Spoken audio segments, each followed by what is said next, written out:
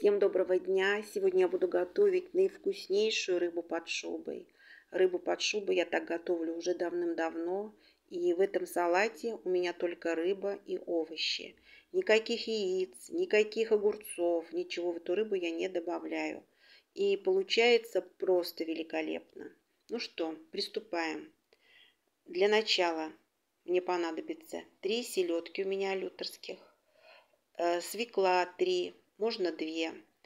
И морковь отварная, все отварное, и лук.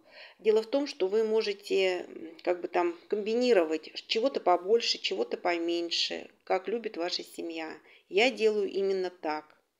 Далее рыбу нужно почистить, обрезать все плавники и разделить на филе. Свеклу также очистить, морковь также очистить и лук также почистить. И все это сейчас будем резать и натирать. У меня овощи резко, мне будет проще, но если вы будете э, натирать на терке, то э, трите на крупной терке, чтобы у вас не получилась каша. Сначала я, господи, в комбайне морковь всю перетираю. Вот видите, она получается такими крупненькими волокнами. Каши ничего делать не нужно. Далее свеклу также закладываю и также все на комбайне перетираю.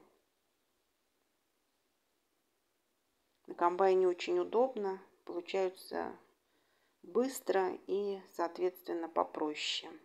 Далее собираю рыбу. Первый слой у меня идет рыбы. Хорошо на плоское блюдо я выкладываю рыбу. Рукой все приминаю Видите, у меня так прям прилично рыбки.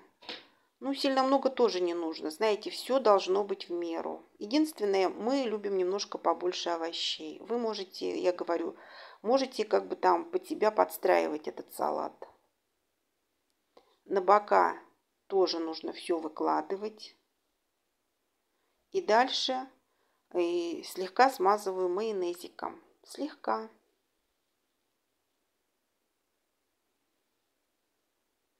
Ложечкой все разравниваю. Сильно много майонеза не нужно. Слегка. Чтобы, знаете, чтобы рыба была такой, как бы, как монолитом. Далее сверху кладу лук. Лук я режу обычно, не полукольцами, никак, а просто обычно режу. Также все выравниваю по всей рыбе.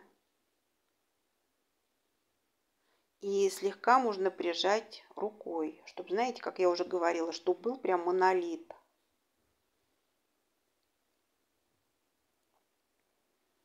И лучок также слегка смазываю майонезиком. Буквально там может быть ложечка у меня, где-то так. Все это выравниваю, разравниваю и сверху выкладываю слой морковки. А, края тоже нужно, мне просто неудобно одной рукой, но края тоже нужно залеплять морковью. Кто-то любит наоборот, чтобы были видны слои. Ну, в общем, делайте на свой вкус. Я показываю конкретно, как я делаю рыбу под шубой. Вы можете для себя подстраивать.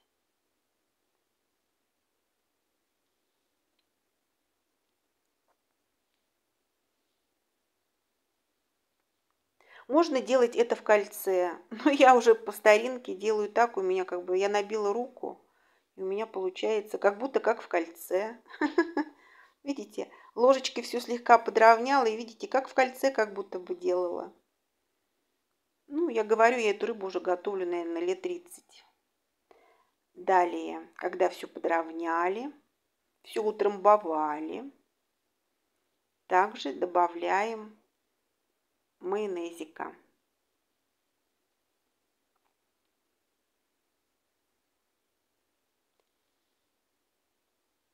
Опять добавили майонезика. Опять все это нужно разровнять ложечкой. Пока ложечкой будем разравнивать. Потом перейдем к ножику. Будем равнять весь наш салат. Вот так у меня уже получилось. Морковочка. Далее идет слой свеклы. Слой свеклы обязательно нужно, э, за, как говорится, залеплять все бока, чтобы салат был однородным.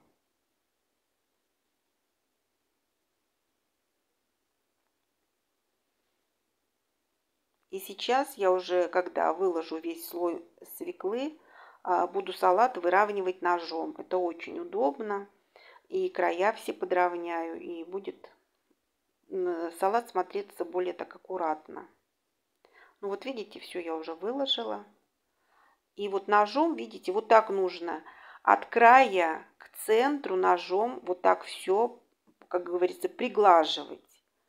Вот так все приглаживаете, и салат получается ровным. Крутите блюдо, на котором вы будете делать, и видите, получается прям просто замечательно.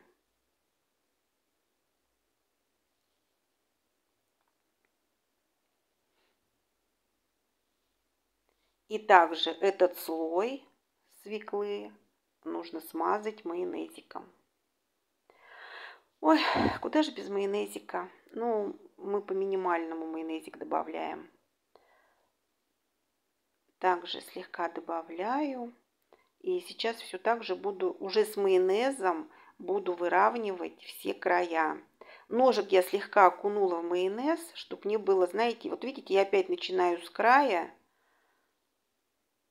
и с края я иду к центру.